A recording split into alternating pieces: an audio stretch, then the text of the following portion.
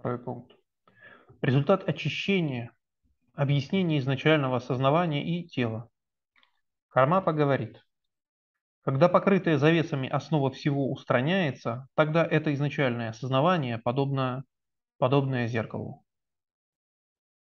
Причем все то, что видится, это изначальное осознавание не воспринимает как мое. Оно никогда не прерывается и присутствует постоянно.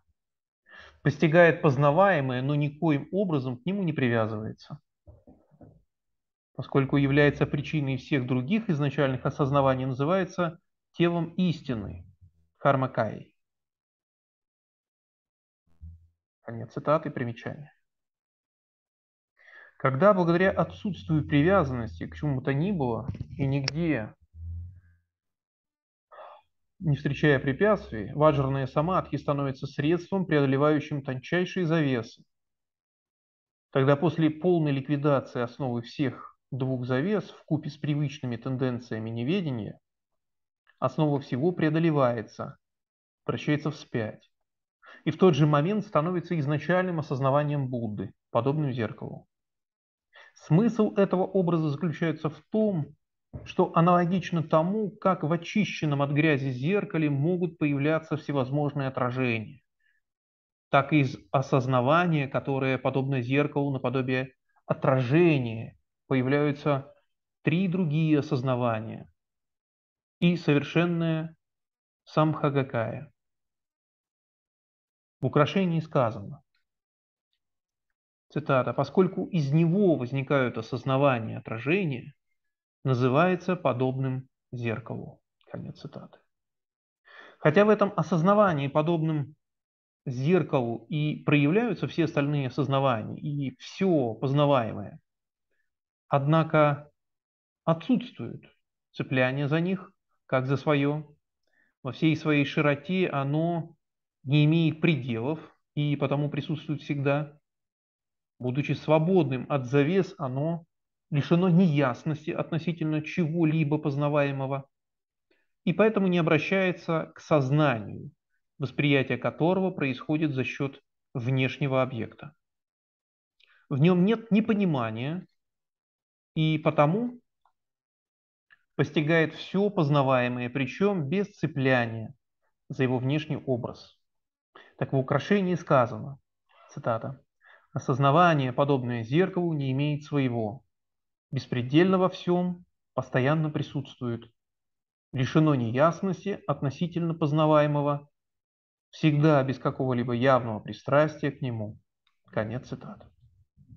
Кроме того, подобно тому, как на неочищенной стадии сознания основа действует в качестве опоры для всех остальных так называемых состояний ума, так на уровне Будды осознавание, подобное зеркалу, действует в качестве опоры для трех других осознаваний. В украшении сказано, цитата, «Осознавание, подобное зеркалу, недвижимо. Три же осознавания, что основываются на нем, суть равностная, постигающая индивидуальная и осуществляющая активность». Конец цитаты. Таким образом, поскольку оно является причиной, определяющей характеристикой трех других осознаваний, и поскольку порождает три остальные сознавания и сам Хагакаю, а также, цитата, поскольку является причиной всех осознаваний, подобно великому осознаванию источнику, оно истинный Будда, совершенное сам Хагакая. Конец цитаты. Так сказано в украшении. Это осознавание, подобное зеркалу, называется Дхарма Кай. Причина Причина этого описывается в собрании Великой Колесницы. Цитата. Поскольку совершенно очищенные качества Будды – это дхарма кая, которая обретается после того, как трансформировалось сознание основа, оно так называется. Конец цитаты. И поскольку в тантре океана величественных небесных путешественниц сказано еще, цитата, «Основа всего осознавание, подобное зеркалу, оно дхарма кая Будды. Конец цитаты. Дхарма Кая – это абсолютное и окончательное осознавание Будды, высшее достигаемое осознавание, в котором все измышления успокоены и нет ничего воспринимаемого, проявляющегося. Это недвойственность пространства реальности и осознавания. Так в сутре украшения света мудрости сказано, цитата, «В подлинном изначальном осознавании нет самости, нет проявлений, и оно не видит ничего двойственного». Конец цитаты.